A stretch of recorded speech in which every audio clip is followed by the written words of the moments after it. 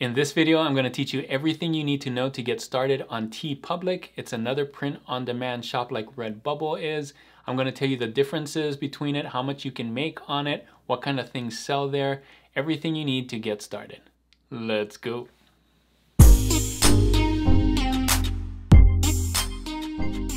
Thanks for joining me on this video. My name is Juno with Detour Shirts. I've been designing and selling t-shirts online since 2005 and my channel is all about helping you to learn how to design and sell t-shirts online. If that's something you want to learn how to do, don't forget to hit that subscribe button right there. So in this video, it's all about TeePublic. It's definitely one of my top three print-on-demand sites. You can see up here, Redbubble, Merch by Amazon, TeePublic. How do you do that? That one right there. Um, so there's some differences between TeePublic and Redbubble, but don't sleep on TeePublic. I made more on TeePublic in December than I did on Redbubble, and I have just a little bit less designs on there. So I'm to teach you what I know about TeePublic, why I think it's definitely in the top three for me, and what kinds of things sell there. I'm to go on there and show you step by step on how to upload things, what kinds of things sell there, how many uploads you can make, and just give you all the things you need to know to get started. You can get started right away. You don't have to wait. It's kind of like Redbubble. You can sign up and start uploading stuff right away. I'm going to show you what kinds of sizes you're going to need and all the products that they have. They have a ton of products and a lot of cool things that other print-on-demand shops don't do. So stay tuned to this. We're just going to get into TeePublic. I'm going to go into the internet right now and show you everything I know about it. So here I am on TeePublic. You can see teepublic.com. That's how you get there. You might want to bookmark that. Um, you can see the things that they sell here mostly are apparels, number one. So let me just click on these. T-shirts, tank tops, hoodies, crew necks, um, baseball shirts, all those. Same thing for the kids. Masks, they sell masks. Home goods, you can see all these things, a lot like Redbubble, and cases, phone cases, stickers, and magnets. So they have a lot of products, but they're mainly apparel t-shirts why that's the name TeePublic, right? That's how they started selling t-shirts. It started in 2013 and then redbubble bought it in 2018 and now redbubble owns it. But it still works the same way that it did back in the day. So i don't think redbubble made that many changes. They they have something good here that's a little different so they stick with that. One of the things i like is they tell you what the top sellers are right here and if you scroll down you know, they're always changing this dashboard so you can see what's current and they have editors pick. So you can see the types of things that the editors think are selling and the things that are selling. Nice hand-drawn things, right? You can see a lot of artwork, not a lot of words. There are some graphics with words here, um, but not a lot. You can see mainly designs, mainly hand-drawn or photography or kind of a mix of both, kind of mashups of, of things, right? Mashups of colors, mashups of, you know, there's a hat and a frog and things like that. So they do a lot of uh, pop culture as well. We're going to see that. But you can see these are the types of things and you can hit more browse here. And then they have a lot of things here on the bottom that can help you if you're a designer. A lot of things uh, like this where you can see featured designers and the TeePublic blog and designer guide and things like that that will help you. I'm gonna go look at some of the FAQs just so to answer some of the big FAQs, but you can go in here and um, look at some of that too. So first thing I wanna do is look at some hot sellers so you can see the types of things that people like to buy on Redbubble. So these can be sorted by newest or most popular. So I'm gonna do popular right here. And these are the things that are popular on Redbubble. Again, hand-drawn things, kind of mashup. Look at this mashup with the tiger and the flamingo. You can see more hand-drawn stuff. Not a lot of text stuff. So if you're an artist, this is a great place to be. Just original art, kind of mashing things up. You see here's a pun, here's kind of more pixel drawings, lots of different types of artwork, right? Art styles and things. So let's keep a look at this. Here's another mashup of a flamingo and a camper, right? Uh, send nudes, funny text, mashup of a Godzilla riding a scooter. So those kinds of things, uh, it can be more realistic. It can be fantasy. I think a lot of fantasy stuff does well. Anime stuff, just all over kind of kawaii stuff does well too. So look at that. So now that we know what kinds of things sell well on TeePublic, let me show you some other things about TeePublic that you might want to know about. So first, let's go to the FAQs here. I'm going to click on FAQs and designer FAQs right here. And these will answer a lot of your questions, but I'm going to go into some of the top ones that I think. Um, the first question you might want to know is when you get started, how many designs can I upload at once? So I think on Redbubble the limit is 60. On TeePublic it's 50. 50 designs per day, which is a lot. If you can upload 50 designs a day, that's great. And again, they're gonna have to be those kind of style of designs, right? You're not just uploading text designs, you're uploading hand-drawn art design. So it's gonna take a little bit longer to get you those kind of designs. So the next thing you might wanna know about is what are the dimensions that you can use. The minimum dimensions here uh, are 1500 by 995, that's the minimum. If you're gonna use the Merch by Amazon size, which I suggest you use if you're already doing Merch by Amazon, that's gonna work for most products, but if you wanna put it on all products, it's 5000 by 5500. Again, Merch by Amazon, if you just, if you don't wanna make different sizes, that will cover a lot of it. And you can see here, um, it's going to cover all of these except for the giant tapestry right here, these big tapestries. If you're just going for t-shirts and uh, some of the smaller things, iPhone cases and, and stickers and things like that, uh, you'll be fine with the Merch by Amazon size. But if you're only doing TeePublic, I would suggest just put it on all products and do it this size. So the next question you might have is how much do you get paid on TeePublic? If you sell an item during a sale, it, you get less because they drop the prices. And this is what, uh, this chart will explain everything. So when you click here, you can see at a regular price for a t-shirt, you can make $4 for a $20 shirt. And on a sale, they'll drop the price and cut it in half and you only get $2. Now that's not a lot of money, but it does get more people to buy your stuff and get your shop um, more visits. And so when people come back, you know, they'll, they'll get it at the regular price. So this, this is the full earnings for everything. Hoodies, you make $8, which is really nice. Um, tank tops still four, and you cannot change these prices. Not like Redbubble, these prices are set, which is good and bad. It's good because everybody's selling at the same price, so you don't get people trying to lower the price to get a sale, and you're not getting people who are raising the price outrageous. So this is TeePublic's model. I think it works really well. I get a lot of sales anyway.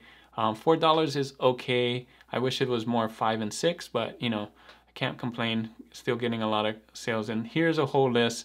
Uh, you may not want to know that, but I think uh, I'll, I'll put a link in the description to this earnings site right here. But what you need to know is most t-shirts, most, most apparel, t-shirt size, you'll get four, and hoodies you get eight, and on sale it's half price. So it's real easy to create an account. All you have to do is go here if you're not signed up, hit create account, and fill in all of these things and hit create account and it's easy as that. So you could also click here, designer sign up, and this will tell you more about what TeePublic does, how much you earn and easy. You can see um, it also shows you the different products. We're gonna, I'm gonna show you those kinds of things, but these are the kind of their top products and what they pay, again, like I said. Um, and it's just, just that easy. So let me sign in with my account and I'll show you what my what a storefront looks like and what you need to do. So once you're signed up, you can get a storefront and what you would need to do if you want to make sure you want to make sure to do all these things is to um, upload your cover photo, make sure you have your icon here, fill out everything you need to so that your designs are searchable on TeePublic. I think a lot of people just upload their products and forget to do their store and icons and things like that and then their stuff doesn't show up when, when you search. So make sure you do everything you need to. Make sure you have the banner, the icon, make your own, don't copy these, but then people can come here and look at your stuff, right? And look at that. So, uh, so before I show you how to upload something, let me show you one more thing about TeePublic. And we'll go, we'll just go to all designs here and browse. One thing that TeePublic does here is gives you top tags of things that are selling. So these are kind of old, I think, because you know Black Friday was uh, near Thanksgiving. You got Thanksgiving here. Squid Game was over a long time ago. So um, these aren't really current, but uh, I think these still kind of helped to let you know what kinds of things are selling on TeePublic. You know, they they do a lot of pop culture references and things like that, and you can see again a lot more artwork kind of stuff a lot less words, but just be careful on TeePublic not to do things that are copyrighted. Stay away from Muppets and um, things like that. So unless you're doing fan art, they do have fan art as well. So you can go in here. So just like Redbubble, they do have fan art programs. So these are all of them right here. You just go to uh, current brand partnerships. I'll put a link in the description as well for these. But unless they're part of these right here, don't do any of the other fan art. You can't just put up those kinds of things. Those may get taken down. All right, so now let's upload something. I'm gonna go back to TeePublic and hit upload a design. And I'm gonna grab a design from my desktop and put it on here. So I uploaded my design here and gave myself a title. I'm just using keywords that I want. The main thing you want to do is make sure that the keywords in your design title match what's on here and make sure you get a main tag. Now this is something different in TeePublic that you have one main tag and the nice thing about TeePublic is it will tell you if the main tag is better or not than the tags you're using here. Um, and when you type in the tags, it's going to give you suggestions down here. So you can see retro, yeah, it's retro. Vintage, yep, it's re vintage. Retro wave, perfect. Uh, Japanese, I saw Japanese there. I'm going to do Japanese. See how it fills it in. So you can use up to 15 tags here. I'm not going to do all of them, but just put in as many, uh, all 15 tags here. And if it is better, if it will tell you if um, one of these is, should be the main tag, but that main tag should be your strongest tag. What is somebody going to be searching for most of the time? And that's that right there. All right, and then does this contain mature content? No. And you can see by default, it just puts it on here and it selects all the colors. Look at all those colors. You could do, if it's a something just for a light t-shirt, you can just hit light and it will just, it will just do the light colors. And if it's dark, you can do just the dark colors. You can see black, or you could do all. Um, I think mine's gonna do better on dark because of the white text here. So I'm gonna hit dark. And then I'm gonna pick my default color. This is something nice too, that you can pick your default color. I wish Merch by Amazon had that. And you can pick black. I wanna do black. And you can see all of these are black. And then this one, I can do black as well and you can just do that. So pick all the colors that you want and you can see like a preview of what the colors are as you scroll over here. That's really cool. And then you here are some other the other products. So stickers, you can see it automatically put that black background outside, but if you didn't want that, you could turn that off, but I like it because um, my white text here.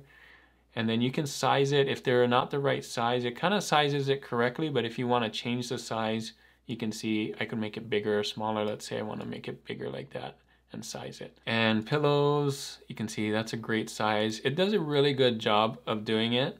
So you don't have to move it, but you can. And you can make each of these different colors. If you if you don't want this black, you could change it to a different color as well. So that's how you do it. And you have to read and uh, agree to all the conditions and then just publish. So I'm gonna publish it here. Boom. And there you go. There's my t-shirt here by Detour Shirts and then people can pick the size. And you can see, like I said, it's on sale for the first 72 hours. This is where you can um, send it out, do some posts and say, hey, look at my new t-shirt on TeePublic and people can get it for sale. After 72 hours, it'll go up to that 20 bucks. But for when it sells for that $14, you only get $2 per shirt. And then it goes up to uh, $20 per shirt. You can do the hoodie as well. Let's look at the hoodie.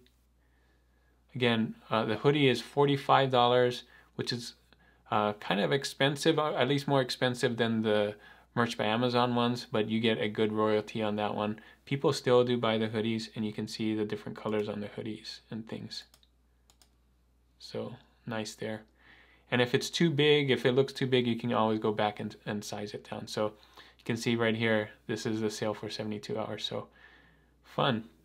So one last thing I wanted to show you, and that is watermark. So if people come in and look at your site, um, I'm looking at my own stuff, but a lot of times if someone comes in and looks at it, you can see these watermarks right here, and that's something you can turn on. This is kind of trying to stop the copycats from taking your design. So if someone comes in here, looks at the black one, you can see that those watermarks right there for TeePublic. So it's right here. If you go if you go to my account and go to image security watermarking, you can turn that on right there instead of having it like this. So that is it for TeePublic. If you want to learn anything else about TeePublic, leave that in the comments. Maybe I can do another two, a video two for TeePublic and let you know about more things TeePublic. So that is it for this video. Hopefully this video is really helpful for you. If it was, and you learned about TeePublic, make sure to give a, a thumbs up. And if you're not subscribed to this channel already, make sure to hit that subscribe button right there. Before I leave, I wanted to leave with a question of the day, and the question of the day is this. Do you have a shop on TeePublic? I wanna know in the comments if you've tried TeePublic, what your thoughts about it. If you're not on TeePublic, let me know uh, what you think about this video and if you want to try it now that you know about a little bit more about TeePublic. So thanks again for watching this video and if you want to see more videos about other things related to print on demand make sure to click on these videos right here and as always guys keep creating and keep learning. I'll see you on the next one. Bye.